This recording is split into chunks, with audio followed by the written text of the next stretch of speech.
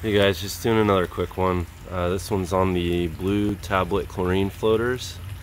Just wanted to talk about those for a minute here. So we got this pool here and you know everything appeared to be fine and a homeowner cleans it himself you know so typical pool here and they're, they're always constantly using you know the three inch chlorine tablets so it's trichlor and the problem with that is you got cyanuric acid, which is also stabilizer in those tablets, and it's constantly increasing the amount of stabilizer in the pool.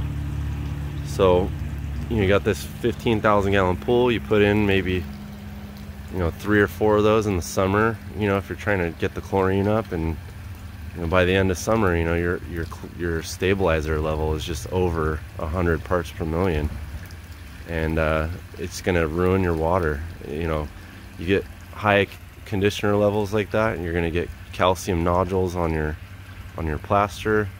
It's going to decrease your killing power of your chlorine by 50% when it gets to 100, and it's going to decrease it even more after that. So um, you're going to be spending a lot more money on chemicals if your conditioner level gets too high. So the best way to maintain a pool by taking this guy out.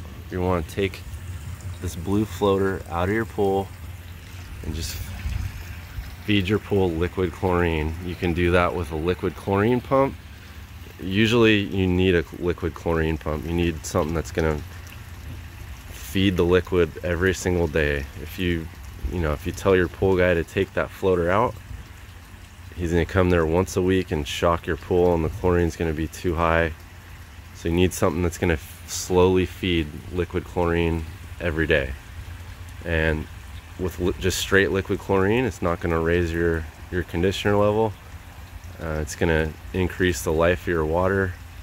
You're not going to get calcium nodules, and you're gonna you're gonna you should be saving money on on chemicals because it's gonna keep the killing power of your chlorine high. So I'd say majority of people are sanitizing their pool using this guy. This thing, this thing does not belong in your pool.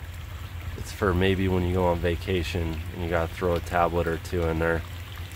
Um, my pool route, I got, I have a bunch of those and uh, we're working on getting all of them out. You know, it's this drawn out process, but we, you know, it's the right thing to do. Uh, that's all.